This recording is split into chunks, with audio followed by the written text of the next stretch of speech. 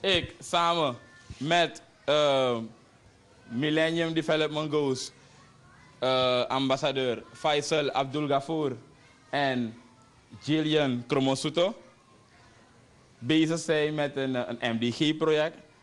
En uh, zoals ik eerder zei, MDG staat voor Millennium Development Goals. Jullie zijn degene die hard moeten gaan werken om Suriname daar te zetten. Suriname is op de goede weg, maar het kan altijd beter.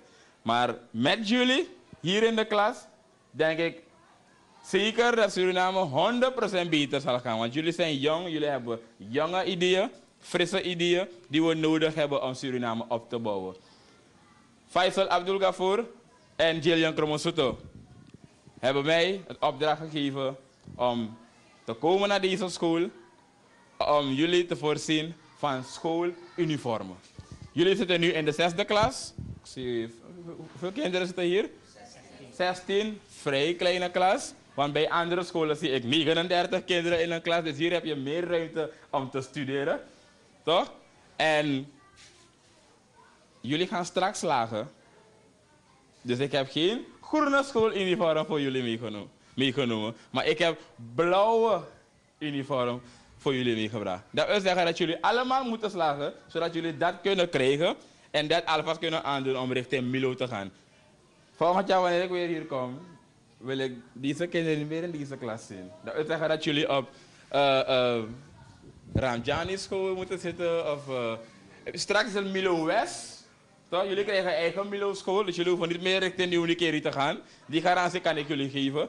Jullie kijken toch naar het nieuws?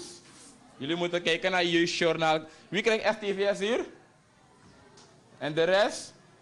Oké. En alle nieuwsberichten moeten jullie volgen. Alle nieuwsberichten. RTV, Ishara, SBS. De kraan moeten jullie ook lezen. Want straks bij examen, wanneer ze jullie zullen vragen... Wie zijn de jeugdparlementariërs van Nikeri? Dan moet jij dat weten. Dan moet je niet gaan schrijven... Meneer Doekie is jeugdparlementariër. Hij is DNA-lid van Nikeri. Toch? Dus jullie moeten uh, onderscheid kunnen maken tussen jeugdparlementariërs en DNA-leden. Maar dat kunnen jullie doen als jullie de nieuwsberichten volgen. Oké? Ik ga het niet te lang houden, want meneer moet zijn lessen uh, afronden, neem ik aan.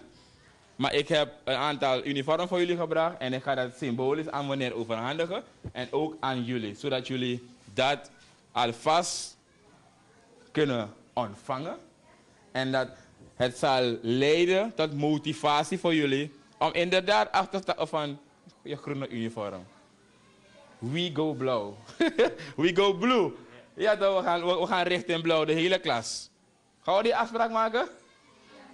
Het is heel belangrijk dat je je diploma haalt. Want tegenwoordig, zonder je diploma, gaat het echt moeilijk voor je zijn. Ik weet waarover ik het, waarover ik het heb. Het gaat heel moeilijk zijn om aan een baan te komen bij de overheid, dat is één. En ook bij de particulier. Bij de krant, als je in de krant leest, zelf voor een schoonmaakster vraagt met Milo diploma. Lastig om als uh, administratieve kracht te werken in een bedrijf. Dus jullie moeten echt proberen de top te gaan bereiken. En vooral de jongens. Want de jongens, wanneer ze vierde Milo hebben afgemaakt, willen ze niet meer studeren. Toch? Jullie moeten proberen om zo hoog mogelijk te gaan.